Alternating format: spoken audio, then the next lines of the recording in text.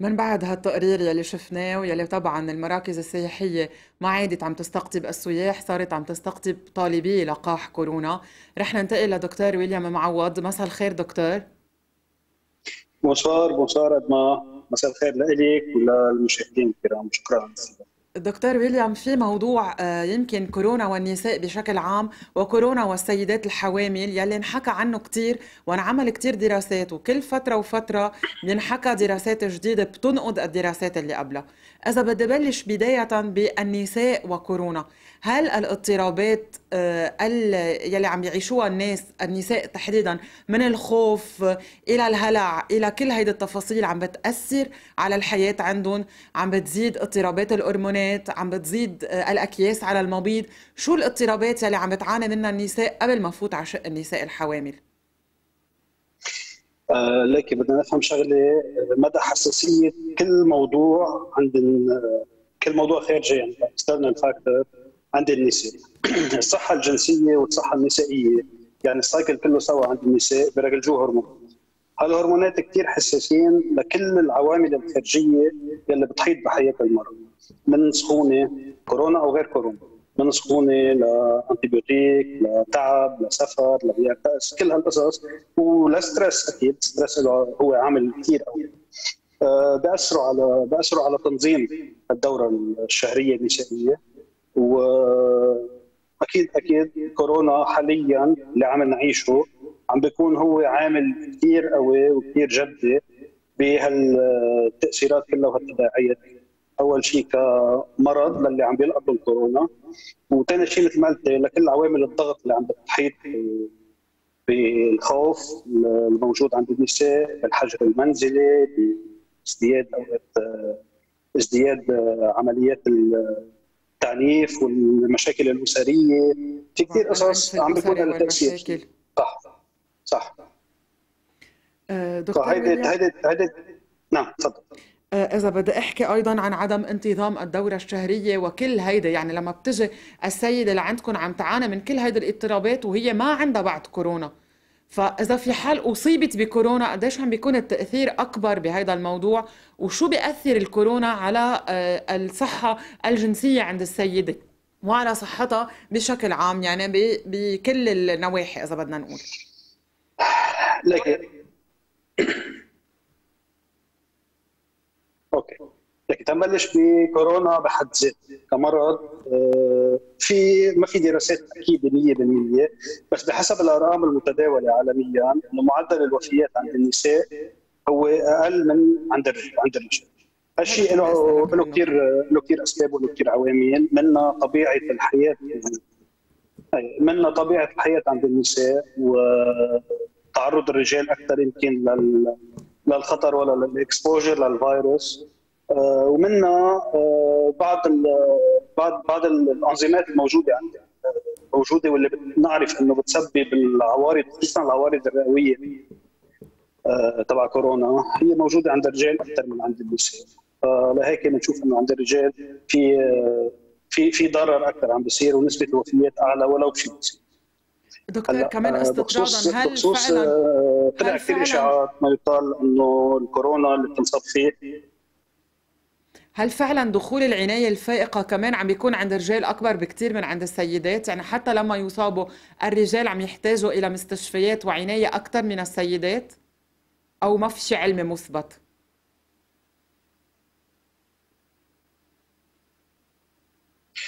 ما في ما في ما في دراسة علمية مثبتة هلأ بالتجربه بالتجربة هالشيء صحيح ولو مش بعدد كثير كثير بس هالشيء صحيح. يعني عدد الإصابات أصلا عند الرجال أكثر عدد الوفيات عند الرجال أكثر وعدد دخول مثل ما انت عدد دخول العناية آه، عند الرجال أكثر. ولو بشكل آه، إنه ما فينا ما فينا ناخذها قاعدة بس هالشيء موجود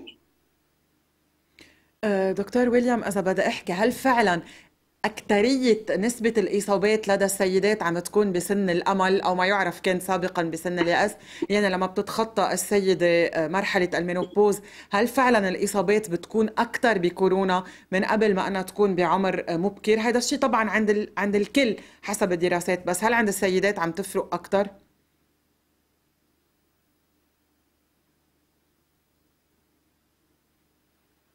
العدد الاصابات لا لأنه أنت بتعرفي إنه الإصابة هي من بعد تخالط مع الفيروس. يمكن عدد الحالات اللي عم بتأدي ل...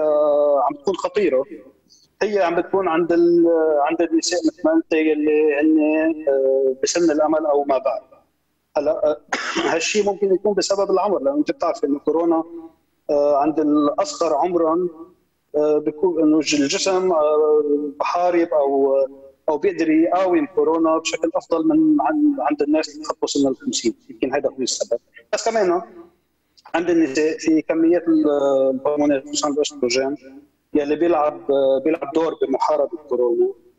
وهذا الأستروجين من بعد سن الامل بيكون اختفى من جسم من جسم النساء أه، دكتور ويليام هل صحيح انه السيدات يلي بيعانوا من السمنة المفرطة يعني ال obésité أو من أمراض المزمنة مثل الضغط والسكري والكوليسترول هن عرضة أكثر من غيرهم للإصابة بكورونا أيضا؟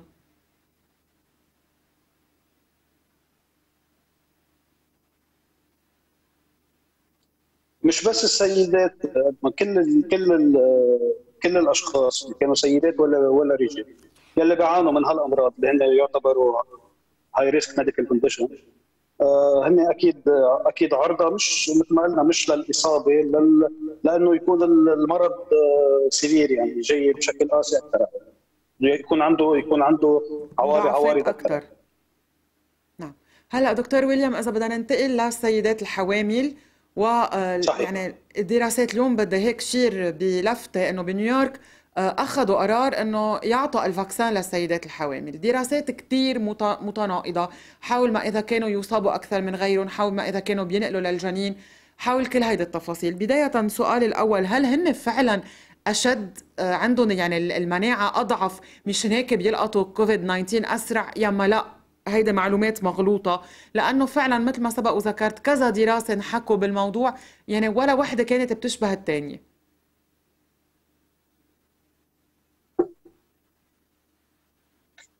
هلك هلأ أنت اشرت إنه في دراسات كثيره بس يا ريت في دراسات كثيره، دراسات بعدها جدا محدودة. وكل الدراسات اللي انعملوا خصوصا على اللقاح آه، ما كانوا ما كانوا بيشملوا group من من النساء الحوامل. هلأ ال pregnancy بحد ذاتها ال pregnancy بحد ذاتها مصنفة كإحدى عوامل الخطر يعني بوحدة من ال high risk medical condition بزيدوا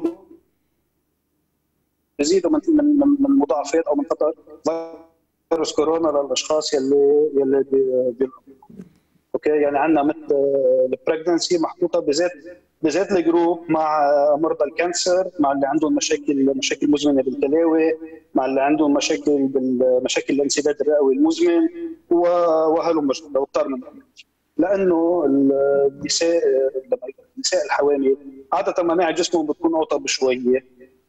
عادة بيكون آه، نسبه السيلان دمهم بخف شوية السيلان اللي فيه نحن بنعرف إنه المناعة هي بغياب علاج للكورونا. المناعة هي الوحيدة اللي عم عم تحمي الجسم من كورونا. و بخصوص بخصوص السيلان كمان بنعرف إنه عدد كبير من من الوفيات اللي عم بتصير خصوصا عند الصغار بالعمر عم بيكون سببها تجلطات بالدم بسبب من بعد من بعد الاصابه بالكورونا فهذا صح. فهذه الشغلتين بخلونا آه، ننتبه أكثر ونعتبر إنه الحمل بحد ذاته هو هو risk factor okay؟ هلا هيدي كبداية دراسات آه، بالأول أول ما بلشوا الدراسات مثل ما انت حكيت آه، أول ريكومنديشنز طلعوا إنه الحوامل والنساء التي ترضع التي ترضع لحد الست شهور إنه ما يتلقوا اللقاح بداية. هلا اليوم مثل ما من بعد ما من بعد ما حصلت عدة وفيات لنساء حوامل. أنه يبدو بما... بأماكن صاروا يعتبروا أنه اللقاح آمن للسيدات الحوامل. ما بعرف قديش هيدا ال... هيدا النظرية جديدة هلأ أو رح تطبق.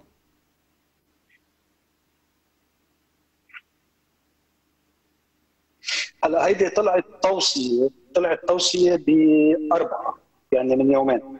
نعم. طلعت توصية باربع شهور من ال American College of Obstetrics and Gynecology اللي هي تعتبر يعتبر مرجع مرجع ب الريكومنديشنز باختصاصنا بمهنتنا. هيدي التوصية بتقول إنه حق كل مرة حامل حق كل سيدة حامل إنه تتلقى اللقاح مثل مثل حيلا سيدة مش حامل وبينترك الخيار بينترك الخيار للطبيب يلي عم بيعالجها اللي هو أكيد بيعرف بيعرف مدى خطورة وضعها الصحي أو إذا هالحمل في هالحمل في معه أي أمراض ثانية ممكن تشكل خطر أكبر عليها في حال اصابتها بفيروس كورونا. وأكيد آه، بيعرف هل هي من ضمن آه، هالجروبات اللي معرضين أكثر من غيرهم لأنه يلقطوا كورونا.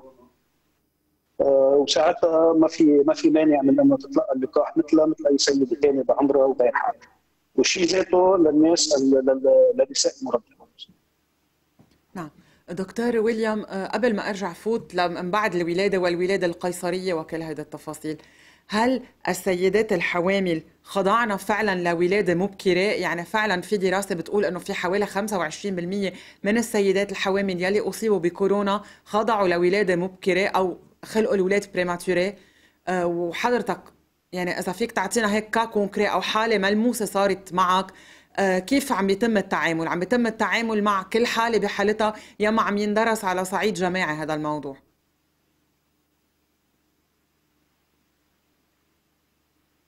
لك آه، في دراسات في في في دراسات أكثر من الدراسات هي في معلومات يعني في استنتاجات بحالات حالات معينة صارت. إنه فيروس كورونا وبسبب اصابتهم بفيروس كورونا في كثير ناس في كثير نساء آه، صار حصل معهم ولادة الولاده المبكره عم نحكي بالاشهر بتتفاوت بين السادس والسابع والثامن. آه، أكيد الاوتكم كان بمحلات قدروا قدروا عاشوا عاشوا ال babies بمحلات لا. آه، هلأ من المعروف عادة إنه حيلا حيلا التهاب بالجسم حيلا systemic infection إن كان كورونا ولا غيرها بتأدي ممكن تؤدي لولادة مبكرة. هلا بحالات كورونا عم نلاحظ هالشيء أكثر. ما في دراسة بعد انعملت مثل ما بتعرف الكورونا بعده فيروس جديد بعدنا عم نتعلم. يعني كل يوم ولا ولا ولا كل جمعة في ريكومنديشن جديدة وعم نتعلم من من تجربتنا للأسف.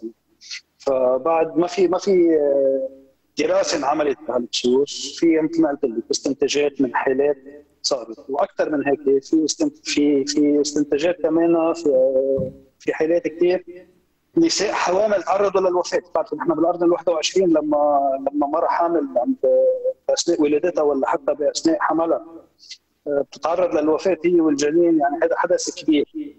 فهالشيء يعني زي تقريبا بنسبة تسع مرات عما كان قبل كورونا نعم. أكيد. دكتور ويليام هل هالشيء للأسف زاد تقريبا تسع مرات من بعد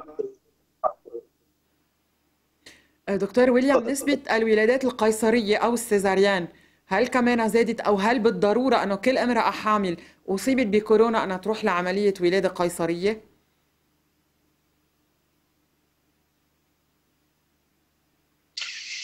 لكن نحن بحالة نحن بحالة طوارئ كان نحن ولا العالم كله. وهذا التكتيك عم هذا التكتيك عم يتبع بكثير من البلدان. يلي هي بحالات طوارئ وفيها تفشي محل كبير لفيروس كورونا أنت بتعرفي إنه الروحة على المستشفى بحد ذاتها ودخول المستشفى هي بنظر المريض وبنظرنا أكيد هو آه، خطر معين. إنه بتكوني عم تعرضي عم تعرضي هالمريض أو عائلته أو آه، لخطر إنه يلقى كورونا ان كان على الطريق ولا شيء.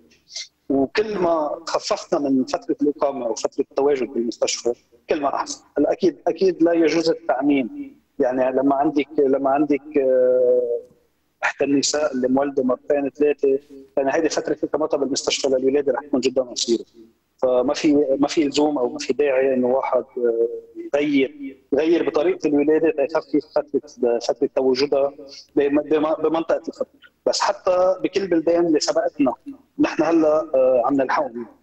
مثل البرازيل مثل إيطاليا. مثل هولندا. استعملوا هذا التكتيك استعملوا هذا التكتيك ليخففوا من الإكسبوجر تبع تبع المريضة بقلب غرفة الولادة اللوات بتدوم لسبعة ولا ثمان ساعات. بينما العملية القيصريه هي 30 دقيقة بمنطقه شبه معزولة بغرفه العملية هلا آه، هل هناك كمان أيضا من دراسات أو من تجارب أو من حالات قدامكم انه الام نقلت فيروس كورونا إلى آه، الرضيع. يعني دغري من بعد الولادة مباشرة أو خلال ما هي حامل هل ينقل المرض أو الفيروس من الأم إلى الجنين أو إلى الرضيع؟ الحديث الولادة فور ولادته.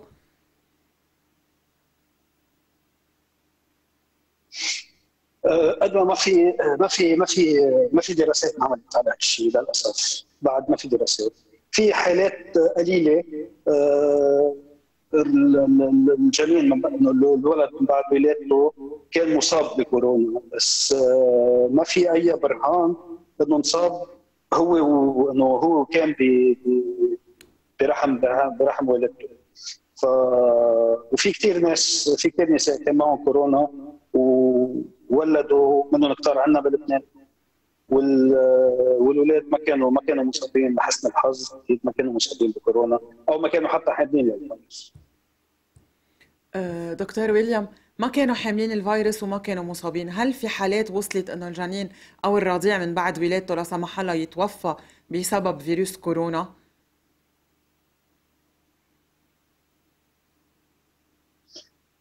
لحد هلأ الحالات يلي يلي انحكى عنها أو اللي كتب عنها ان كان بلبنان ولا برات لبنان آه لما الجنين توفى كان بسبب وفاة والدته آه هو بقلب الرحم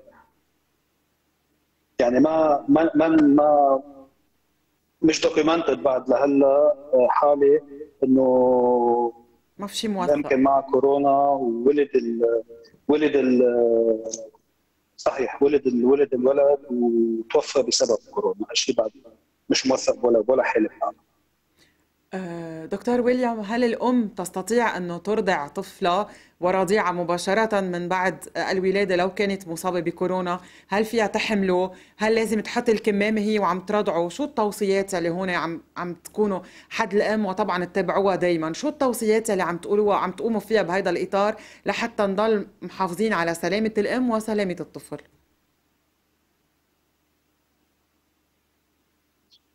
التوصيات عم بتكون عدم عدم عدم الرضاعة في حال كان كورونا active يعني PCR بعده positive عند عند الأم. التوصيات عم بتكون بعدم الرضاعه آه إنه at least بأول فترة بتعرفي إذا في حال ما رضعت المراه أول فترة ما راح تقدر ترضع بعدين. إلا إذا كان هال هال هالفيروس هال بآخر بآخر ايامه يعني. من بعد يومين بصير negative. ساعتها موضوع للبحث. وهو موضوع individual بين كل حالة بحالتها وأكيد وجوب وجوب استعمال الكمامة في حال في حال المريضة positive وجوب استعمال الكمامة وغسل اليدين وكل سبل الوقايه اللي عم نطلبها من الناس. نعم. هلا آه آخر سؤال وبعد بدي أسأل سؤال عن ال vaccin آه الأم عم بيصير عندهم هيدا الهاجس والخوف والرعب السيدات يلي يلي ولدوا جديد من إنه ما تحمل طفلة ما تمسكه آه، أو عم بيصير في إذا بدي أرجع هيك شوي للشق البسيشيك عم يصير في آه، حالة رفض أو خوف للولد الجديد. يعني صارت معكم هيك حالة الأم عم تخاف تمسك ابنها الأم عم تخاف تهتم بابنها بسبب إصابتها بالفيروس. ابنها أو بنتها طبعا البيبي يعني. صارت صارت آه، أكيد. صارت هيدي أكثر أكثر بتصير شفناها لاحظناها عند عند النساء يلي عم بي عم بي عم بيولدوا أول. ولد يعني ما يكون عندهم أولاد من قبل مش كثير معودين على الخبريه آه، أصلا بيكون في خوف معين وزيادة هلأ بسبب بسبب الهاجس تبع كورونا. آه، عم بصير عم بصير في خوف زايد حالات معدودة عم نقدر نتعامل معها بالطريقة المناسبه يعني ثلاث أرباع الحالات بيكفي هيك مثل حديث حديث مع شوية تفسير تفسير زايد وبيمشي الحال. أه هلأ أكيد بتعرفي أنت كل شيء بسيشيك مثل ما قلت بيختلف بين شخص والثاني بين تفكير والثاني فعلينا نتعامل مع الحالات بشكل ما نعمم بشكل اندفجوال نعتبر كل مريضة هي بحد ذاتها آه، بحد ذاتها شخص مختلف عن اللي سبقها واللي حتجي من وراها وبدنا نتعامل معهم. لكن عم نعيش كلنا بضغط كبير. وبخوف. يعني القطاع الطبي والقطاع الصحي كله سوا آه، يعني مش أكثر من خوف منهك. منهك. صار حاطط عشرات الشهداء بين أطباء وبين بين ممرضات. وعم بيشتغل آه، وكل يوم عندنا عندنا عندنا ناس جداد عم بيصابوا وناس عم بفوتوا على العناية. ورح نضل مكملين بعملنا لأنه هذا واجبنا وهذه المعركة معركة. لهيك أوقات عم نطلب زيادة من الأطباء وزيادة من الممرضات إنه يلعبوا دور المعالج النفسي وعم بيقوموا بهال عم بيقوموا بهالأمر على أكمل الواجب. إن شاء الله نضلنا نقدر نكفي نقدر نكفي بهال بهالطريقه اللي عم نعملها لأنه إذا إذا إذا, إذا ما أمنا بهالعمل وهلأ خصوصا بغياب بغياب تواجد الطب الكثيف بسبب بسبب حالة الطوارئ فبعتقد حتكون حالة المرضى أصعب.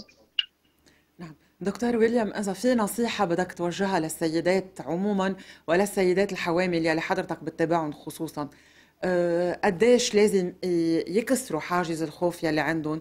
ما يضل في البانيك الموجودة ليقدروا يتأقلموا مع الواقع يلي هن فيه. إن كانوا مصابات بكورونا أو مش مصابات يعني قديش مهم إنه يعرفوا هن يكونوا محافظين على صحتهم ليحافظوا على صحة أولادهم وعائلتهم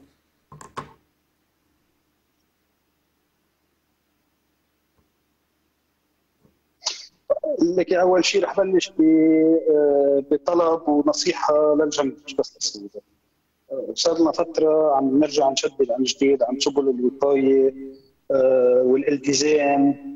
وشفنا شو صار فينا بلبنان بسبب عدم التزامنا وتزكينا على القوانين وتزكينا على المنطق. للأسف شفنا وين وصلنا. هذا كله كان فينا كان فينا نتحشى. لو تصرفنا بطريقة أكثر عقلانيه هلا بخصوص بخصوص النساء الحوامل. نحن نساء الحوامل من الأول من أول زيارة تجي فيها على على العيادة. أكيد بننصحها بننصحها قبل الكورونا بننصحها تتخلى عن كل عن كل من من تدخين لشرب كحول لكل هالقصص يلي ممكن يكون لها تأثير على على الجنين نعم. كيف إذا إذا إذا هلأ نحن بقلب بقلب آه، بزمن كورونا وزمن صعب فأكيد بدنا ننصحها بدنا ننصحهم إنهم يحافظوا على healthier lifestyle يعتمدوا أشياء صحية آه، يتجنبوا كل هالقصص يلي هي risk factor بحد ذاتها لا كورونا بأثناء الحمل وبرات الحمل بس بأثناء الحمل أكيد عندها تأثير أكثر بكثير. لأنه بكون عم بيصير في آه، مثل ما حكينا الحمل بحد ذاته هو risk factor إذا بنزيد عليها شغلة واثنين مثل مثل ال obesity مثل النصاحة المفرطة أو أو تدخين يعني صار صار صارت حياتها وحياة اللي حواليها بخطر أكبر من العادة. فلهيك ننصحهم في سؤال اجاني عبر تويتر. إذا امرأة حامل انصابت بكورونا صار لها يومين عندها عوارض حرارة ووجع جسم الأكسجين نسبته منيحة حسب ما عم بيقولوا. شو بتنصحها تاخذ دواء؟ آه، أو ما بننصح نحن بأخذ الأدوية إلا ما تستشير طبيبة؟ سبقتيني. ما هذا كان بده يكون الشغلة الثانية اللي بدي بدي أنصح فيها. أه للأسف نحن بلبنان قانون القانون مش مطبق كثير وكل شخص قادر يروح على صيدلية يشتري الدواء اللي بده يستعمله أه وللأسف كمان شفنا إنه في أه حتى على جروبات واتساب أو على ال social media العالم عم بيبعثوا ليستات ادويه لبعضهم إنه أنا انصبت بكورونا آه، أخذت أخذت توضيح صحيات تفضلي أه للأسف للأسف هالشيء لازم نحاربه ولازم نوقفه. ما بننصح حدا ياخذ دواء إلا ما يكون في طبيب متابعه. بحال الم... بحال كان في بحال النساء الحوامل هالشيء بده يكون بالتنسيق مع الطبيب النسائي والطبيب اللي عم بيتابع كورونا؟ وبحالتنا نحن مثل ما شايفه انه كلنا عم نشتغل كورونا لأنه ما في غير حل يعني. كلنا كلنا صرنا صرنا منخرطين بالحرب كورونا. ف كل كل كل كل كل شخص كان حامل ولا غير حامل هو العلاج تبعه مثل السؤال اللي اجاك يعني العلاج تبعه هو اندفجوال كورونا ما عندها علاج كورونا علاجها هو عوارض. يعني بحسب العوارض. سيمتوماتيك في ناس بيعتازوا ياخذوا دواء غيرهم ما بيعتازوا ياخذوا لهيك لا يجوز التعميم ولا بأي شكل. هلا دكتور عزاري يمكن عنده عنده عنده خبرة أكثر بهالموضوع. بس وهو بيحكي فيه أكثر. بس للأسف هيدي عم نشوفها كل يوم عم نشوفها بعياداتنا وعم نشوفها على الواتساب وعلى التليفون. نعم. آه، دكتور ويليام إذا بدي هيك آه، آخر سؤال أسألك إياه. طبعا هلأ الكل بحالة آه، بحالة يعني عدم استقرار نفسي وجسدي ومن كل النواحي عم بيكون. السيدات الحوامل أكثر من غيرهم مثل ما قلت ما بيسوى ياخذوا حيلا نوع دواء من دون وصفه طبية. فبنرجع بنطلب تأكيد من حضرتك أنه عدم تناول الأدوية من دون وصفات طبية وعدم استشارة غير طبيب لحتى ما توصل آه، السيدة هي وجنينها إلى مطارح ما يعود في أمل آه، للعودة أو للشفاء. تنرجع تنرجع نقول عن جديد ونأكد عن جديد. كل شخص وخصوصا السيدات الحوامل المصابين بكورونا نطلب منهم ما يتناولوا ولا دواء. حتى الفيتامينات يلي بيعتبروها إنه فيتامينات هيدي ماشي فيتامينات. إزاي يتخيل ناقص؟ ما يتناولوا ولا حبه دواء قبل ما يستشيروا طبيب. أقله من بعد الاتصال فيه على التليفون. بتعرفي نحن بحاله طوارئ آه نقابه الأطباء مشكوره بمحل من المحلات سمحت لمعاينات على التليفون. آه أقله من بعد استشارة طبيب يبلشوا ياخذوا الأدوية اللي وصفها الطبيب مش اللي وصفتها الجارة ولا ولا اختهم الكبيره ولا حدا بنعرفه من الأصحاب على جروبات الواتساب نعم. ولا حبه دواء إلا بوصفه طبيب وتحت إشراف طبي كامل. دكتور ويليام أنا بدي أتشكرك كثير على هيدا المداخلة على أمل إنه يكون لنا استضافة باستوديو قريبا ونكون بإذن الله تخطينا هالمرحلة الصعبة يلي عم نمرق فيها شكرا لك وبنرجع بنقول لكل السيدات الحوامل انتبهوا على حالكم وعلى جنينكم لأنه أنتم مسؤولين عن صحتين. مشاهدينا قبل ما فوت على break صغير بدي بس هيك امبارح سألنا سؤال على عبر تويتر شو التجربة يلي تعلمتوها من فيروس كورونا؟ 37% اجى ضعف الإنسان 36% حك حكمة الخالق ربنا قديش عظيمة. 23% حب الحياة والتعلق فيها طبعا الناس تعلموا هيك. و4% بس إنه الوحدة أجمل. واجانا كثير أجوبة إنه تعلمنا إنه كان كل شيء نعيشه هو قيمة مضافة لحياتنا. نحن ما كنا مقدرينها. إن كان إنه نظهر إن كان إنه نسهر إن كان إنه نشوف أهلنا لأنه هلأ نحن بمحلات محرومين من إنه نشوف أهلنا. فخليها تكون هيدي المناسبة مرحلة نتعلم منها آه، قديش نتخطى خوفنا ووجعنا والصعوبات يلي عم نمرق فيها.